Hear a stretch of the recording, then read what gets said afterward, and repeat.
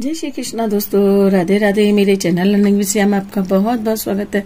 दोस्तों, आज हम तीन नंबर के ठाकुर जी के लिए इन दोनों फैब्रिक में से ये दो पट्टी हमने कट किए, एक हमने ये लहरिया की और एक ही प्रिंटेड कपड़े की। इन दोनों में से ये ड्रेस बनाएँगे। ड्रेस बहुत ही शानदार होगी और कॉटन की होगी। मुझे उम्मीद है आपको ज़रूर पसंद आएगी। तो चलिए ड्रेस बनाना स्टार्ट करते हैं। दोस्तों, ये सबसे पहले हमने ये लहरिया वाला फैब्रिक लिया है। यह साथ ही मैंने आरकंडी का अस्तर कट किया है। मैंने ये मैंने तीन इंची चौड़ा लिया है और साथ ही मैंने थर्टी टू इंचीज ये लंबा लिया है। पहले हमें क्या करना है? ये लहरिया वाले फैब्रिक को इसके ऊपर उल्टा रखेंगे और उल्टा रखने के बाद सिलाई करेंगे और सिलाई करके इसे हम पलट देंगे।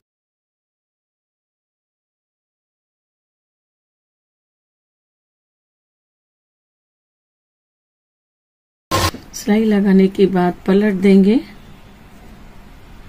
अब पलटने के बाद यहाँ किनारे किनारे जपरी गोटा लगा देंगे। या आप कुछ भी ना लगाना चाहें, आप कुछ भी ना लगाएँ या फिर लेस लगाना चाहें तो लेस लगा दें, लेकिन मैं जपरी गोटा लगा देती हूँ।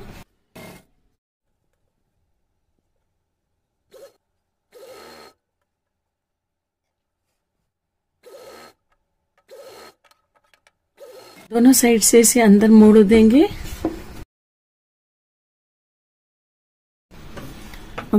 प्लेट्स डालेंगे। प्लेट्स देखिए, बिल्कुल पास पास हमें महीन महीन प्लेट्स डालनी है और ये प्लेट्स हमें साढ़े चार से पौने पाँच इंच के अंदर डालनी है। तो ये साढ़े चार इंच में लगभग हम प्लेट्स डाल करके तैयार कर लेंगे।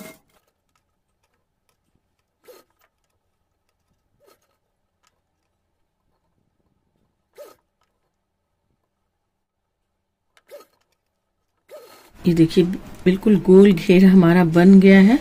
अब इसका नेफा लगा लेते हैं। ची चौड़ी नेफे के लिए लिया पट्टी हमने। और उल्टी साइड से इसे टक करेंगे।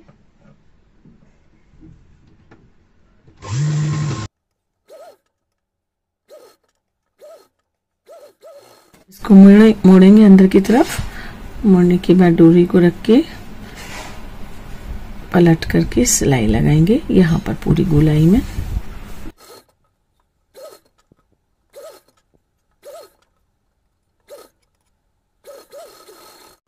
ये देखिए, घेर हमारा बन गया। अब एक घेर और बनाना है हमें ये हमारा एक घेर बनाया दूसरा घेर हमें भी और बनाना है। तो इस घेर के लिए हमने ये प्रिंटेड फैब्रिक लिया दो इंची चौड़ा, और ये हमने लिया है साढ़े तेईस इंची लंबा है। अब इसका क्या करना है हमें? इसे हमें तीन साइड से मोड़ना है। इस तरीके से ये पतला महीन महीन इसे यहाँ से मोड़ा। यहाँ से मोड़ेंगे और तीसरी साइड ये वाली। तीनों साइड से पहले से मोड़ लेते हैं।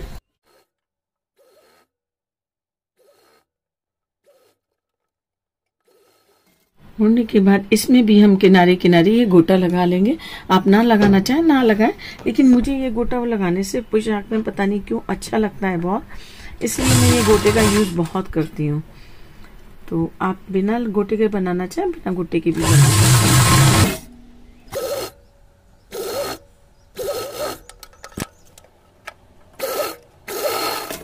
अब इसमें हम प्लेट्स डाल करके घेर तैयार करेंगे और घेर वही हमें लगभग साढ़े चार इंच के अंदर ये घेर हमें डाल करके तैयार कर लेना है। तो ये कर लेते हैं।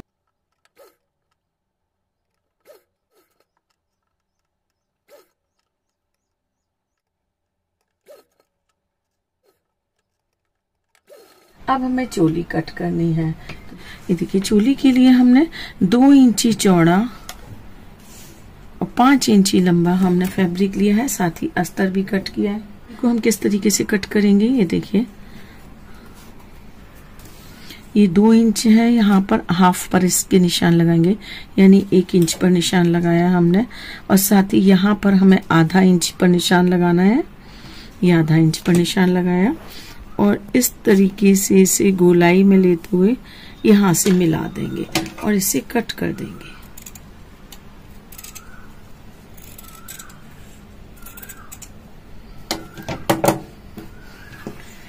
और कट करने के बाद इसे उल्टा रखेंगे। उल्टा रखने के बाद यहाँ से, यहाँ तक, यहाँ से, यहाँ तक सिल करके इसे पलट लेंगे। अस्तर को हम चोली की शेप में ही कट कर देंगे। साथ ही यहाँ पर हल्के से कट लगा देंगे ताकि पलटे तो झोल ना आए।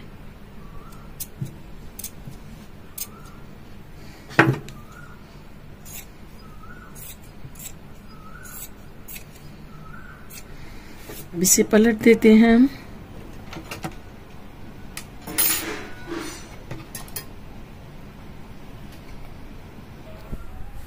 यहाँ पर पहले सिलाई लगा देते हैं।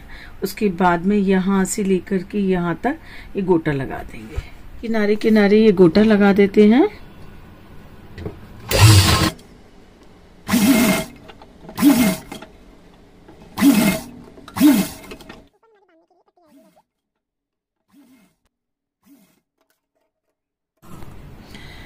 इस घेर को इस चोली के साथ अटैच कर लेंगे।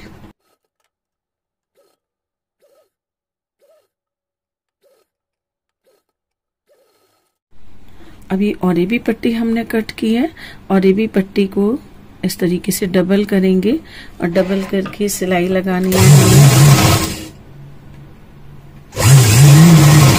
और लगभग सेंटर तक आ जाएँगे, तब इसे उल्टी साइड से इसको भी हम सिलाई में ले लेंगे, चोली को भी।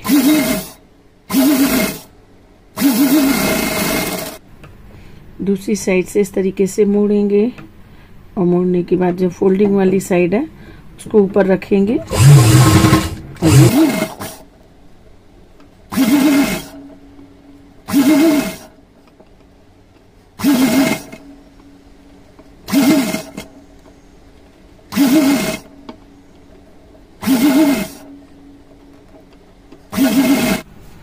टेसल्स लगाएँगे।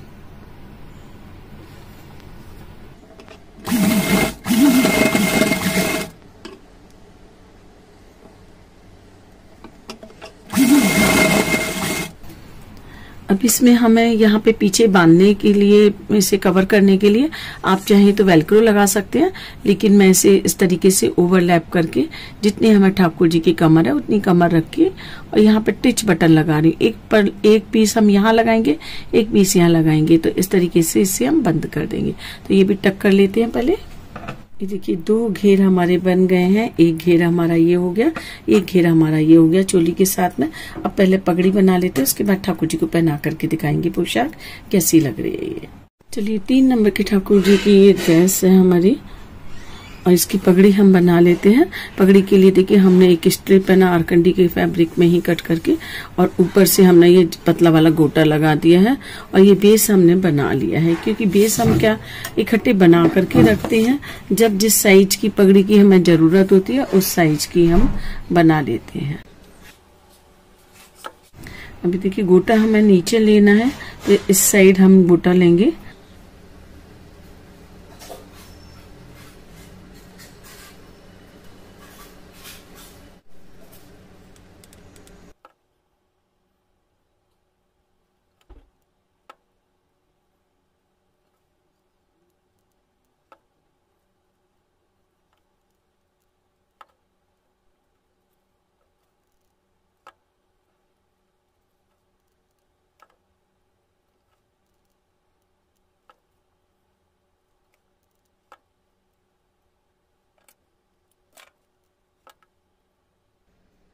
देखिए, ये हमारा पगड़ी का बेस बन करके तैयार हो गया।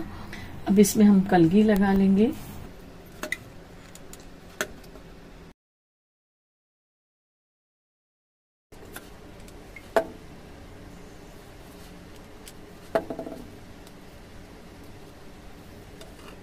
साथ ही एक कलगी हमने ये प्रिंटेड फैब्रिक की भी बनाई है।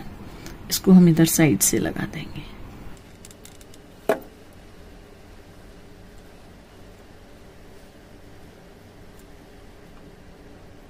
ये देखिए, बहुत ही प्यारी सी पगड़ी बन गई, छोटी सी। चलिए ठाकुर जी को पहना करके दिखाते हैं। ये देखिए, तीन नंबर के छोटू से हमारे काना जी हैं, लड्डू गोपाल जी हैं। इनको ये ड्रेस हमें पहनानी है, किस तरीके से पहनाएँगे। बहुत ही प्यारी सी ये ड्रेस है। दोस्तों, मैं आपको कहूँगी, आप एक बार ज़रूर ये बनाना अपने लड्डू गोपाल जी के लिए। यहाँ पे मैंने अभी लटकन वैसे लगाई नहीं है, लेकिन आप लटकन लगा लेना और ये आगे इस तरीके से आ जाएँगी तो बहुत ही प्यारी लगेंगी। आप इसमें लटकन भी लगा सकते हैं, सॉरी टसल्स भी लगा सकते हैं। बहुत ही सुंदर लगेंगे। और अब देखिए, ये चोली हम कैसे पहनाएँगे? इस तरीके से।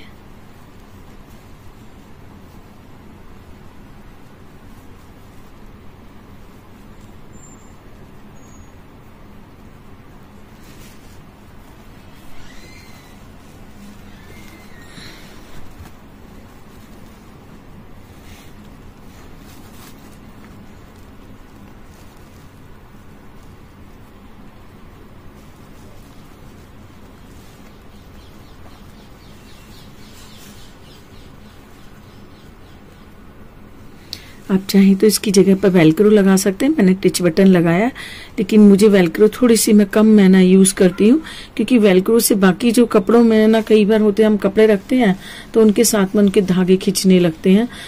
ये देखिए, बहुत ही प्यारी सी ये ड्रेस बनी है दोस्तों। बहुत ही खूबसूरत लग रही है। तो मुझे उम्मीद है आप लोगों की शिकायतें थोड़ी दूर हो रही होंगी कि मैम छोटी ड्रेसेस नहीं सिखाते हो, आप बड़ी बड़ी ड्रेसेस ही बनाना सिखाते हो पाँच छह नंबर की। और हमारे लड्डू गोपाल कहाँ जाए, जो ज़ीरो से लेकर के एक, दो नंबर, तीन नंबर तक के हैं। तो दोस्तों, आपकी ये शिकायतें मुझे लग रहा है धीरे धीरे कम हो रही होंगी। और हाँ एक आ, हमारा ये व्हाट्सएप चैनल है लर्निंग विद सिया इसका लिंक हमने डिस्क्रिप्शन में दिया हुआ है। साथ ही एक हमारा ड्रेस वाला भी ग्रुप है जिसमें हम लड्डू गोपाल की ड्रेसेस भी सेल करते हैं साथ ही उनका मटेरियल भी सेल करते हैं। तो उसका भी लिंक हमने डिस्क्रिप्शन में दिया हुआ है तो वहाँ से उस लिंक के साथ आप जुड़ सकते हैं और जो लोग खरीदना चाहते हैं तो वो खरीद सकते हैं। तो दोस्तों अगली वीडियो में हम आपको बहुत जल्दी मिलने वाले हैं। तब तक के लिए राधे राधे